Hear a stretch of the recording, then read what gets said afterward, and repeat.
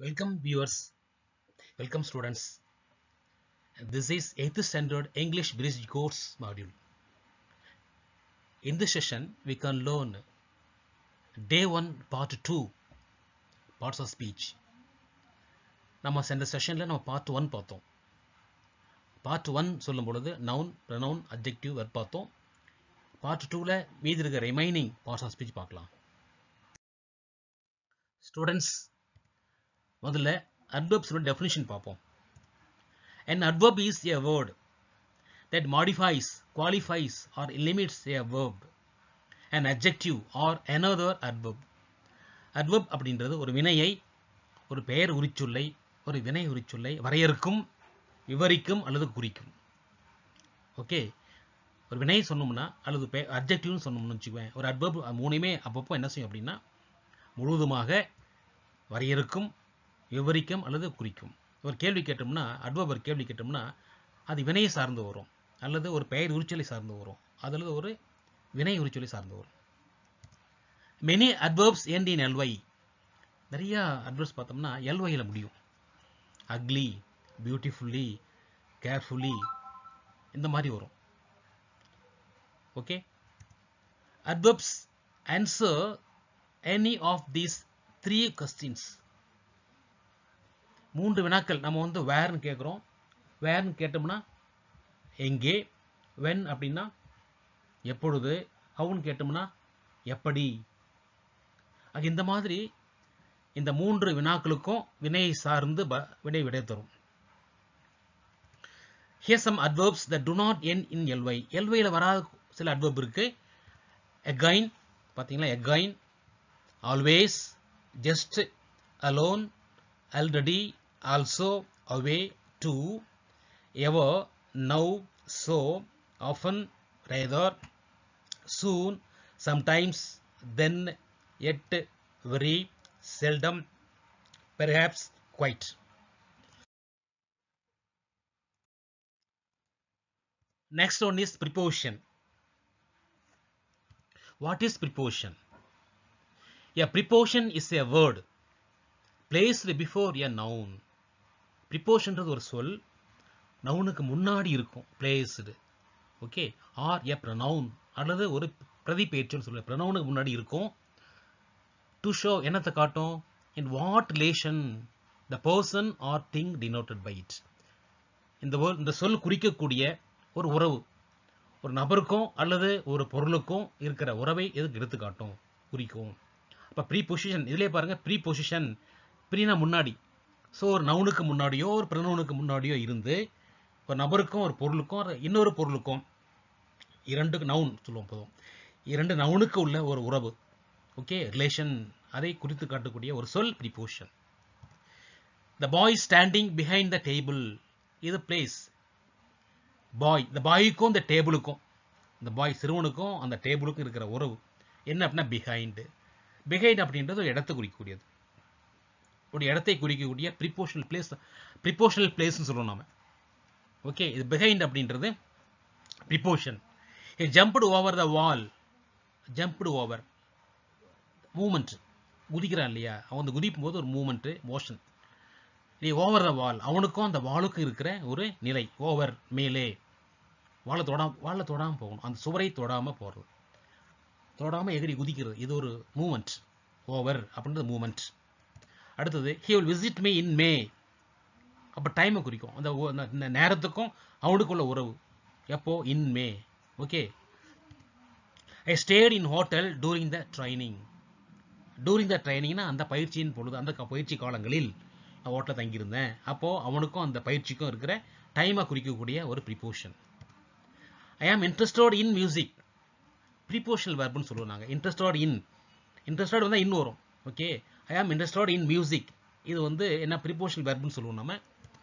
He suffering from fever suffering from சஃபரிங்னா from வரும். இது preposition verb okay இதே போல் prepositional places prepositional movement prepositional time prepositional verb இருக்குது இன்னொன்று அப்படின்னா ஃப்ரேசல் வெர்ப்னு ஒன்று இருக்குது அது வேறு. ப்ரிப்போஷன் சார்ந்தது தான். ப்ரேசல் வெர்ப் இருக்குது இந்த ப்ரிப்போஷனல் ஃப்ரேசஸ் தனியாக இருக்குது ப்ரிப்போஷனல் ஃப்ரேசஸ் தனியாக இருக்குது இது வந்து ரொம்ப டீப்பாக போக வேண்டிய சூழ்நிலை. அதனால் இப்போ நீங்கள் வந்து இந்த ப்ரிப்போர்ஷன் அடையாளம் தெரிஞ்சால் போதும். Okay eighth as eighth student ப்ரீபோஷனா என்ன? ஓகேவா இதனுடைய என்னென்ன வார்த்தைகள் இருக்குன்னு தெரிஞ்சால் போதும். அது conjunction so what is conjunction it is a word use join sentence or words சில வார்த்தைகளையோ அல்லது வாக்கியங்களையோ இணைக்கக்கூடிய ஒரு இணைப்பு சொல். கன்ஜெக்ஷன் அப்படின்னா கனெக்டோ கனெக்டிங் வேர்டுன்னு சொல்லுவாங்க. இணைப்பு சொல்லுன்னு சொல்லுவோம் நம்ம. பாருங்க. Ravi and Sibi are friends Ravi சிபியும் Ravi மற்றும் சிபி. ரெண்டையும் இணைக்கக்கூடிய வேர்டு அண்டு அது conjunction he worked hard but failed okay இது பட் அப்படின்றது கன்ஜெக்ஷன் ரெண்டு செயல்பாடுகளை இணைக்கக்கூடியது. She was ill so she was absent இதுவும் அதே தான் காரணம் இது வந்து காரணம் கருதி நடக்கக்கூடிய விஷயங்கள். பட் அப்படின்றது கான்ட்ரோவர்ஸ் கான்ட்ராஸ்ட்னு சொல்லுவாங்க நம்ம அதை. ரெண்டு செயலுக்கும் கான்ட்ராஸ்ட் இருக்குது இது ரெண்டு செயலுக்கும் காரணம் இருக்கு. ஸோ ஓகேவா அந்த கன்ஜெக்ஷன் ரெண்டு conjunction நிற்கக்கூடியது as she played well she won the game as அப்படின்றது ஒரு கன்ஜெக்ஷன் இது காரணம் காரணம் கருதி.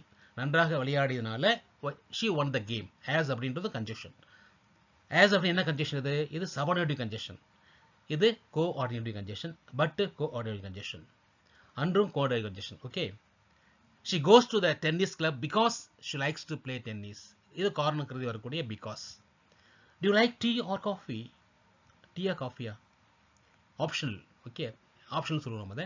ஆர் இதுவும் வந்து கன்ஜெஷன் நமக்கு. நெக்ஸ்ட் பாருங்க. ஐ டிடிட் நோ வாட் யூ வாண்டட் இங்கே வாட் அப்படின்றது கன்ஜெஷன் கன்ஜெஷன் நிறைய இருக்கு. ஓகேவா கன்ஜெஷன் பார்த்தோம்னா நிறைய இருக்கு. And but so as because or what இங்கே சில உதாரணங்கள் உங்களுக்கு கொடுத்துருக்கேன். மேற்கொண்டு நீங்கள் அடுத்த வகுப்பு போகும்போது நிறைய கன்ஜெக்ஷன்ஸும் அதனுடைய காரணங்களும் அதனுடைய டைப்ஸ் தான் தெரிஞ்சுக்கலாம்.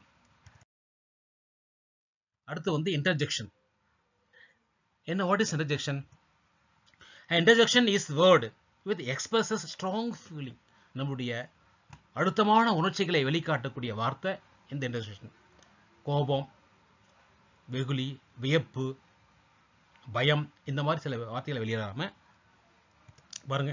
Hurrah! I have passed the exam okay சந்தோஷமா சொல்லக்கூடியது.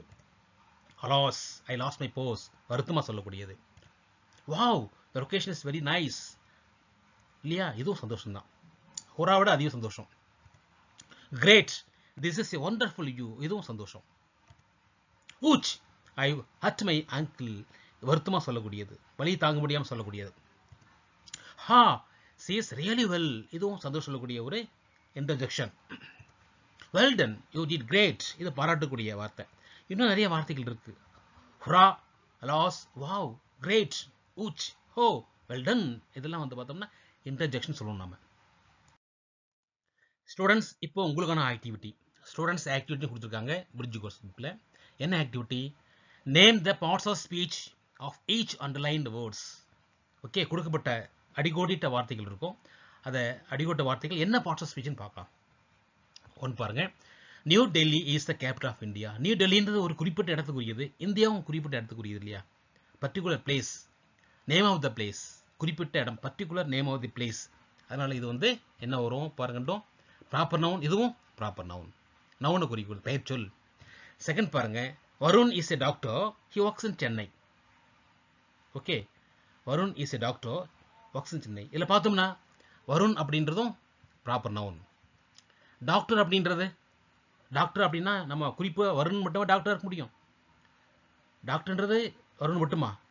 யாராலும் டாக்டராக இருக்கலாம். இது காமன் இது காமன் நவுன் சொல்லுவோம் அதை ஓகே சென்னை அப்படின்றது Chennai.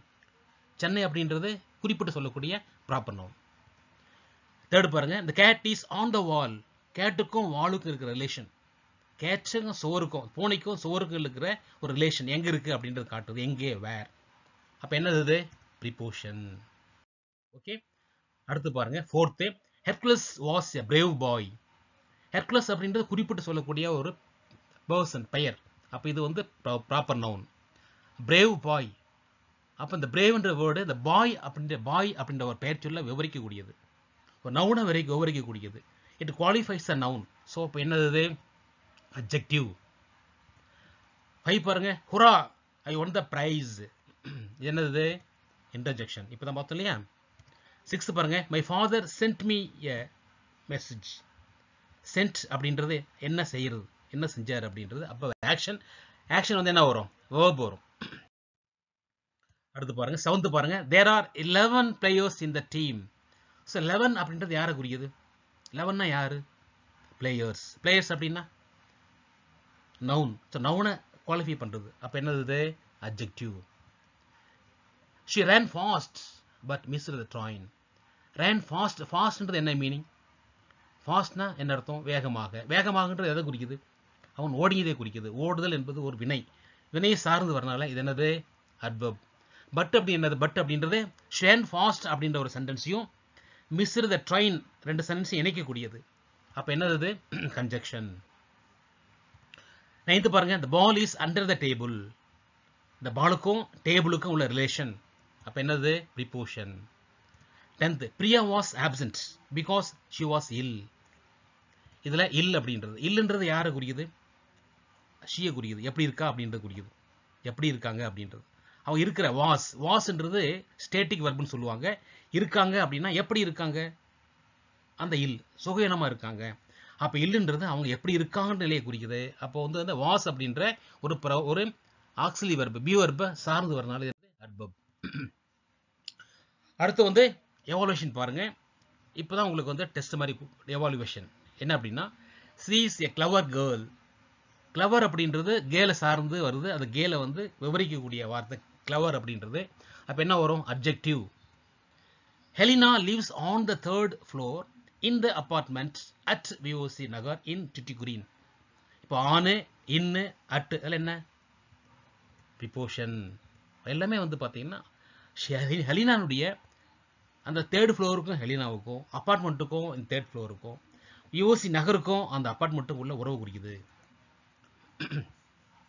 Ramu is a clever boy and he is very humble இங்கே கிளவர்னு வந்தது இல்லை கொடுத்துருக்காங்க. கிளவர்ன்றது அப்ஜெக்டிவ் அண்ட் அப்படின்றது என்ன? கிளவர் பாய் அப்படின்றதும் ஹீ இஸ் வெரி ஹம்பிள் அப்படின்றது இணைக்கக்கூடிய ஒரு கன்ஜெக்ஷன் ஹீன்றது ப்ரனவுன் ராம் ஹீ யாரை குறிக்குது? ராம குறிக்குது இல்லையா? அதை ப்ரனவுன் ஃபோர்த்து பாருங்க. இந்த சீட்டா ரன்ஸ் வெரி ஃபாஸ்ட் இங்கே ஃபாஸ்ட்ன்றது அட்வர்ப் அந்த அட்வர்ப்பை இன்னும் இது விளக்கமாக சொல்லுது. இந்த வெரி அப்படின்றது ஃபாஸ்ட்ன்ற அட்வர்ப்பை குவாலிஃபை பண்ணுது மாடிஃபை பண்ணுது. வெரி அப்படின்னா என்ன அர்த்தம்? ஃபாஸ்ட் ஃபாஸ்ட்னா என்ன? ஓடின வேகமாகன்றது அந்த வினையை விவரிக்கக்கூடிய வார்த்தை அதை விவரிக்கக்கூடிய வெரி. அப்போ என்னது இது? Adverb alas my grand passed away அலாஸ்ன்றது உங்களுக்கு தெரியும். என்னது இன்டர்ஜெக்ஷன் ஓகே ஸ்டூடெண்ட்ஸ் இப்போ நம்ம வந்து பார்த்தீங்கன்னா டோட்டலாக பார்ட்ஸ் ஆஃப் ஸ்பீச் எட்டும் பார்த்துட்டோம். தெளிவாக பார்த்துருக்கோம். இப்போ பார்த்தோம்னா இதில் வந்து அட்வர்ப் அப்படின்றதுல நிறைய வகைகள் இருக்குது டைப்ஸ் ஆஃப் அட்வப்ஸ் நிறைய இருக்குது கன்ஜெக்ஷன் நிறைய வகை அதுவும் ஒரு நாலஞ்சு வகைகள் இருக்குது கன்ஜெக்ஷன் நிறைய வகைகள் இருக்குது அப்புறம் வந்து இன்டர்ஜெக்ஷன் என்ன தெளிவாக பார்க்கலாம்.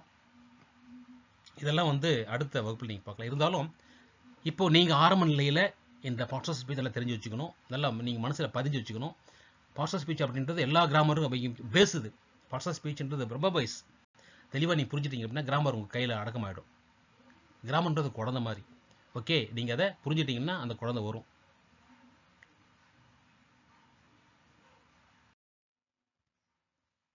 தேங்க்யூ ஸ்டூடெண்ட்ஸ் தேங்க்யூ யூவர்ஸ் நீங்கள் நம்முடைய சேனலை சப்ஸ்கிரைப் பண்ணுங்கள் கண்டிப்பாக லைக் பண்ணுங்கள் ஷேர் பண்ணுங்கள் கமெண்ட் பண்ணுங்கள் கமெண்ட் பண்ணுங்கள் லைக்கோ ஷேரோ கமெண்ட் கண்டிப்பாக பண்ணுங்கள் தேங்க்யூ ஸ்டூடெண்ட்ஸ் தேங்க்யூ யூவர்ஸ்